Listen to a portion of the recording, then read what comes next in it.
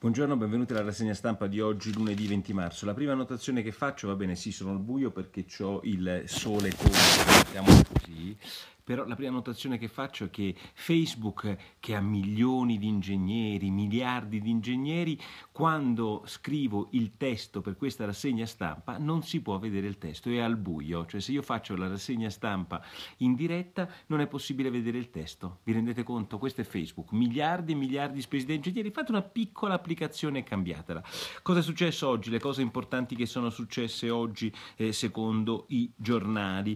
Beh, quelle che mi interessano a me sono altre, ma insomma partiamo da quelle più istituzionali. La, la, questione più istituzionale di oggi riguarda le nomine. Sono state fatte 37 nomine di persone che dovranno andare a comandare importanti imprese pubbliche, l'ENI, l'ENAC, l'ENAV, eh, Finmeccanica che oggi si chiama Leonardo, l'Enel. La cosa che mi sconvolge è che i giornali della Prima Repubblica avrebbero preso queste 37 nomine e le avrebbero radiografate, l'amico di chi, il, il raccomandato di là, eh, chi comanda, chi perde, chi guadagna. Eh, io non so se per sciatteria dei giornali o per nostra eh, abitudine a tutto quanto, ma queste 37 nomine sono tutte renziane sostanzialmente, come nota Gianmaria De Francesco oggi sul giornale e come nota be- molto bene, pezzo molto approfondito di Andrea Ducci sul Corriere della Sera, ma non c'è dietro a queste nomine nulla di... Ehm, a parte l'origine, bravi, non bravi, saranno utili. Insomma, io su questa roba delle nomine ci sarei andato molto di più. Abbiamo lasciato ai politici arrabbiarsi che Profumo eh, sia un banchiere che si occupa di filmeccanica.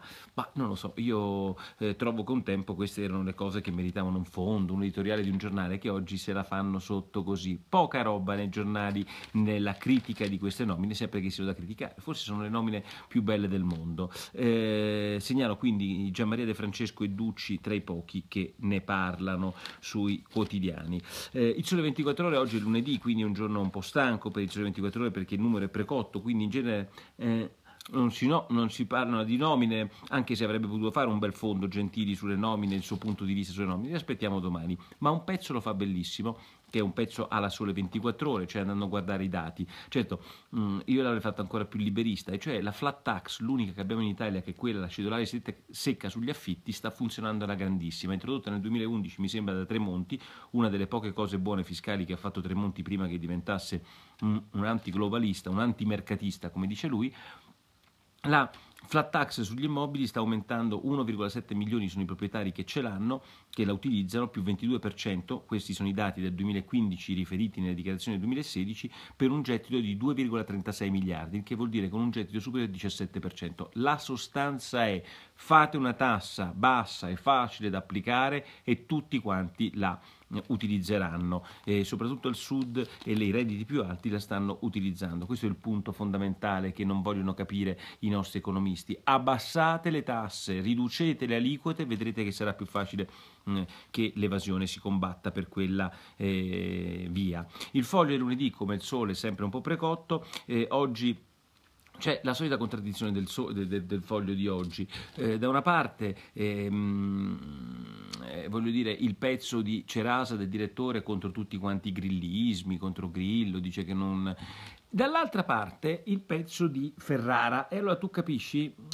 Eh, una contraddizione del foglio, cioè pezzo di Ferrari su Trump, cioè da una parte criticano i, grilli, i grillini, il che è cosa buona e giusta, figuratevi un po' voi, dall'altra criticano l'eletto con argomenti che sono argomenti da grillini, perché quando Giuliano Ferrara critica Trump, che lo definisce un impostore e un cafone, sì, c'è un sovra più di radical scicchismo che contraddistingue Ferrara, ma soprattutto è quando dice andrebbe cacciato e presto e poi dice l'opposizione va vasta e maggioritaria del paese quando è stato appena eletto da una maggioranza. E Ferrara parla di opposizione vasta e maggioritaria nel paese. E quando si dice insediato un gruppuzzo di mezzi dementi al governo. Quando Ferrara scrive queste cose, utilizza strumenti grillini per criticare un signore che è stato eletto democraticamente in America contro i radical chic in cui il foglio ci aveva abituato, quando era ancora un foglio sano, a eh, combattere. Oggi, boh, come dice François, i soliti fighetti.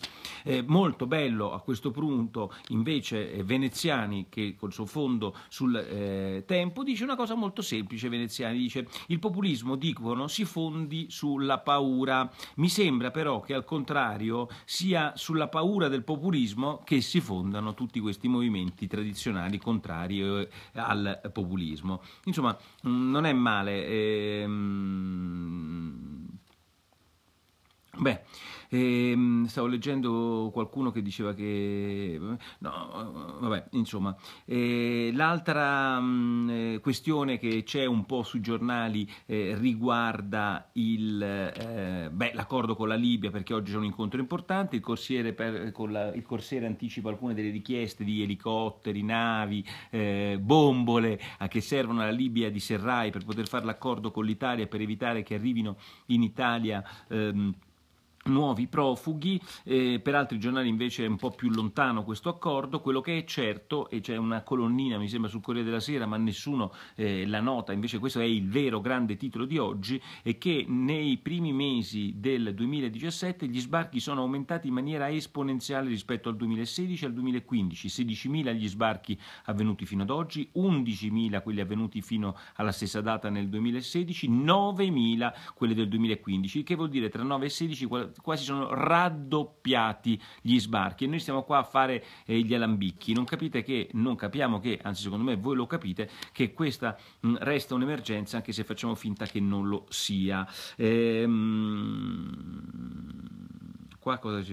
eh, fantastico, oggi i giornali ricordano che le maestre, da, eh, è stato approvato il decreto legislativo della buona scuola per cui le maestre d'esilio dovranno avere la laurea e quindi passa una legge straordinaria in Italia per cui le maestre devono avere la laurea i ministri no. Io trovo incredibile l'uno e l'altro, cioè per me chi se ne frega, ma insomma che si obblighi il ministro senza laurea a laureare le proprie maestre mi viene abbastanza da ridere. Su Minzolini Ferrarella fa un fondo, per fortuna che glielo mettono eh, Fontana, il direttore glielo mette lontano e in un fogliettone, non so, pagina 10-12 il Corriere della Sera, e risponde a Nordio che diceva ma che state a dire ai giornalisti e esperti eh, giuridici? Non si può, mh, mm, eh, Minzolini non poteva chiedere la ricusazione del giudice eh, mh, perché vi ricordate ricorderete che in appello Minzolini viene condannato a due anni e sei mesi da un magistrato su tre che era un suo avversario politico in Parlamento e dice non poteva ricusarlo. Ci sono dei eh, criteri molto, ehm, eh, dice eh, Nordio eh, molto chiari, molto scritti per i quali si poteva ricusare. Oggi la lezione la fa Ferrarella, che è un giornalista e non mi sembra ancora essere un magistrato,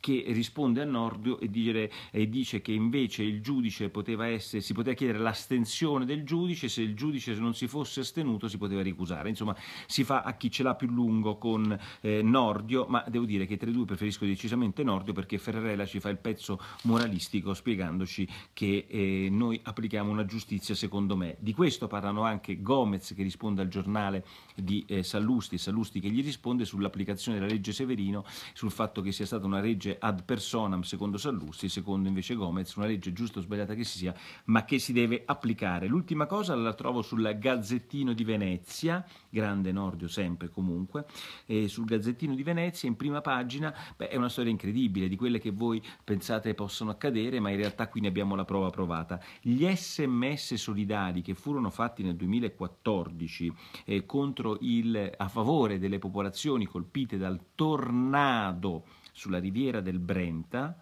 ci sono 211.000 euro, bene, raccolti, ma non sanno come spenderli non sanno come spenderli perché comune, ehm, ehm, regione, enti locali non sanno come spendere questi 211 mila euro. Ma voi vi rendete conto? Voi vi rendete conto che cos'è questo paese? È un paese morto, morto, non riusciamo neanche a spendere gli sms solidali.